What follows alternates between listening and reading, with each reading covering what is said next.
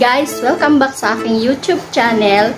For today's video, gagawa ako ng ginataang tulingan with langka. So, ito yung masarap dito sa Bicol, yung langka na may tulingan. So, samahan niyo muna ako guys sa aking pagluluto.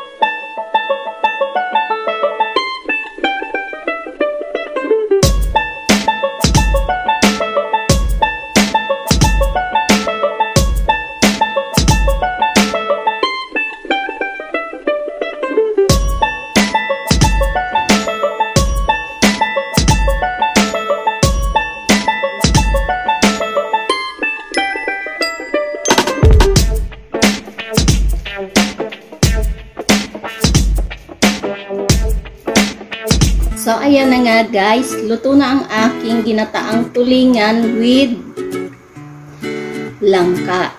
So, ito yung jackfruit vegetable. So, ayan siya.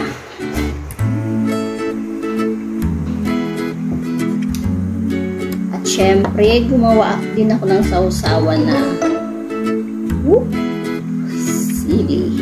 Sili with suka. Yun talaga yung ano niya, partner niya. Magkakamay ako ngayon kasi para ma-enjoy ko tong ulam ngayon. So, gusto ko kasi tong langka na syempre mayroong tulingan. Ayan. Tapos with suka na may sili. So, ito yung masarap talaga. Pag ganitong ulam, syempre, kamay muna. Para ma-enjoy yung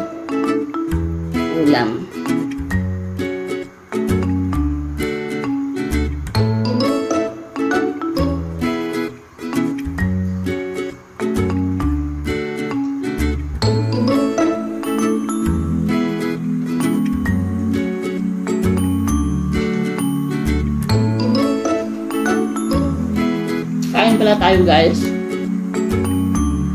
Hindi ko na kayo naalala. Alukin. Gutom na ako eh.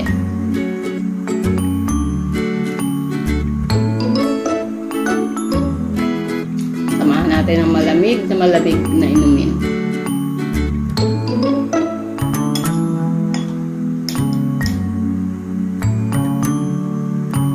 Kung gusto magbabati, comment na lang kayo comment section. So, hindi ko kayong batiin. Yung mga nanonood pala sa ano, mga taga Masagana. Hi guys. Si Madge. Ayun. Lahat ng nanonood ng mga taga Masagana.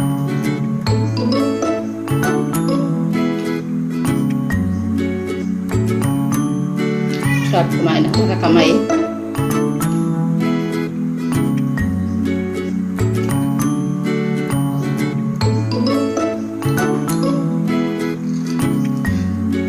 Meron nga pala akong kapatid dyan sa, ano, sa Paris. Hello din sa'yo. Tapos dyan sa friend ko sa Austria. Hi din sa'yo. So, ayan guys, nabusog na ako. Hanggang dito na lang ang aking video for today. So, huwag niyong kalilimutang mag-like, share, comment, and subscribe sa aking YouTube channel para lagi kayong updated sa aking mga susunod na video. At i-hit nyo na rin ang notification bell para lagi kayong updated. So maraming maraming salamat guys. Paalam.